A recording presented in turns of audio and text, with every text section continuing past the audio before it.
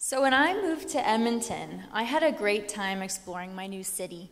But after about two years, I started to feel a little bit stuck.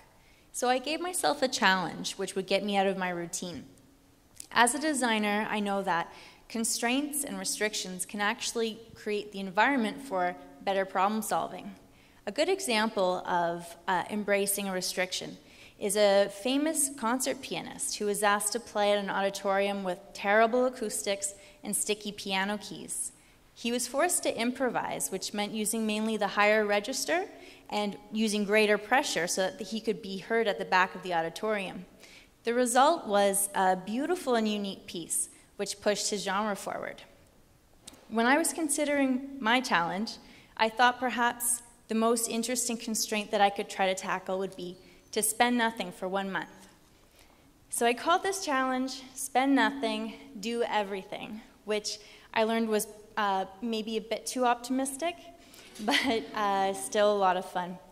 I decided that I would spend the same amount I'd already contributed or put aside for rent, groceries, and the internet, but nothing else.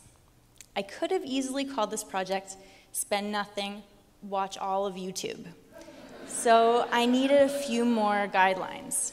These were don't watch all of the internet, don't be a mooch, be more generous, meet new people, and see more of Edmonton. So I suspected that this project would force me to get out of my comfort zone of restaurants and movie theaters and uh, make me start participating in a different way in my new city um, I started speaking to as many people as I could about what do they do in town for free fun. And a few personas started to emerge from all that information. The first are the geeks. Geeks are really active in Edmonton. My favorite find is a Facebook group called Lady Geeks Unite. And they host clothing swaps and board game nights and guest speakers. And best of all, they have a book club uh, where they only read comic books written by female authors. Uh, so I also found if I was interested in learning how to fight with lightsabers, I could go to Winston Churchill Square. Uh, another thing I did with geeks is I joined a writer's circle for sci fi nerds. So that was fun. In Edmonton, jocks are more than just Oilers fans. I know we have a couple November Project folks here. Uh, the November Project we heard last time they're a group of people who organize uh, free exercises around the town and uh, believe that exercise should be accessible to everybody, should be outside, and should involve community. So this is great. All you have to do is show up at 6 a.m.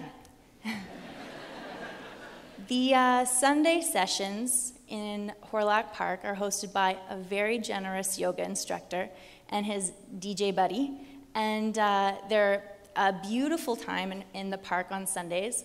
Um, they're described as a brownie, so like a treat, but like a really good for you treat, like a gluten free brownie. So I encourage you to go to that as well. The other group that I found were the outdoor explorers. And these people are busy organizing hikes in the river valley and bringing people out to Elk Island to stargaze. There's a great newsletter you can sign up for, which uh, lets you know when the aurora borealis is going to be particularly beautiful. There's also uh, maps that the City of Edmonton has created of all the different neighborhoods and the walking paths you can take. Uh, and it even marks out uh, the best picnic spots and lookout points. I would suggest trying geocaching, although I, I wasn't good at it. Um, the, last, the last group that I came across are the culture buffs. And so, culture buffs, you might find them in the art gallery on the uh, monthly community nights. There's also Creative Mornings, which is a breakfast and lecture series um, for creative types in the city. There's also a very active uh, French language and culture group, which organizes on meetup.com.